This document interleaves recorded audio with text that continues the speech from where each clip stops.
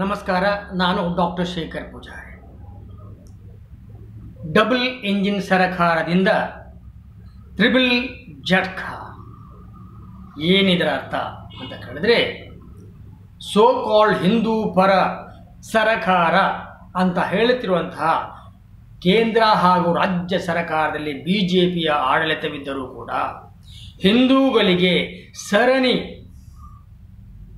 ಕಷ್ಟಗಳು, ನಷ್ಟಗಳು ವೇದ್ಯವಾಗುತ್ತಿರುವುದು ಇಂದು ಸಾಬೀತಾಗ್ತಾ ಇದೆ.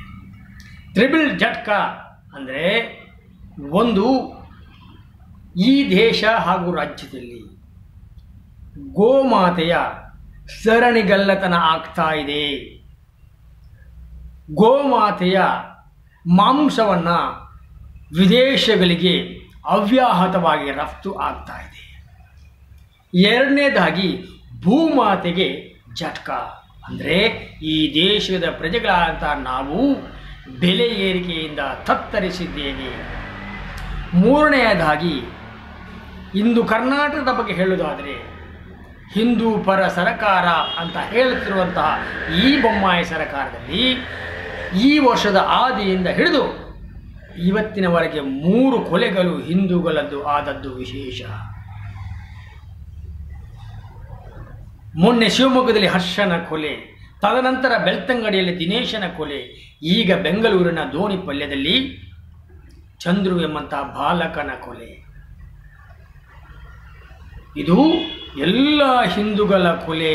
ಇದೇ ಬಿ ಜೆ ಪಿಯ ಸರಕಾರದ, ಹಿಂದೂ ಪರ ಸರಕಾರದ ಅಡಿಯಲ್ಲಿ ಆದದ್ದು ವಿಪರ್ಯಾಸ.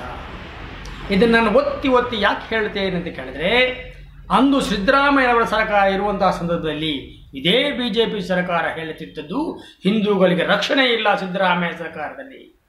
ಆದರೆ ಇಂದು ಅದೇ ಮಾತು ನಿಮಗೆ ಅನ್ವಯವಾಗುತ್ತಿರೋದು ದುರಾದೃಷ್ಟ.